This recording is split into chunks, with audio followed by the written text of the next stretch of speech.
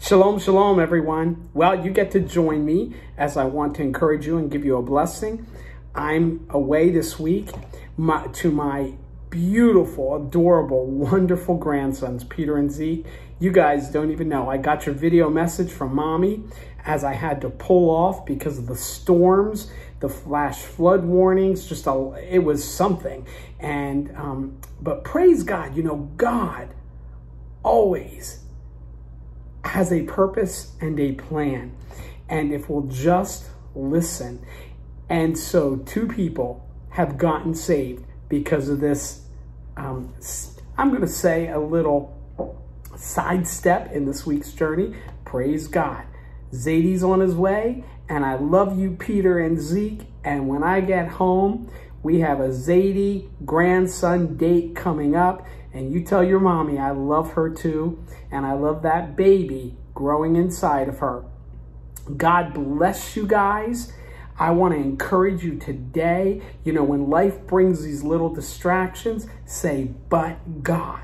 Look how wonderful, how awesome our God is. What's more glorious than an opportunity to share the gospel and people get saved, to believe on the Son of God, Yeshua HaMashiach, Jesus Messiah. He always existed, left glory, laid down his glory, was born of a virgin, wrapped in flesh, lived a perfect life, never sinned, and shed his precious blood on the cross to pay the debt for our sins once and for all, past, present, and future sins. The gospel is 1 Corinthians 15, 1 to 4. Christ died for our sins, was buried, and on the third day rose from the dead the nanosecond you believe it's an event, you are born again and dwelt with Holy Spirit, saved, sealed, and sanctified until the day of redemption. Well, I want to remind you all, um, first of all, that the ABCs of salvation with the scripture is in the description box. And God loves you fiercely and passionately, and I love you too. I will be on later today, Lord willing, um, bringing some world info updates and whatever else Holy Spirit gives. So may the Lord bless you and keep you. May his face shine upon you and be gracious to you.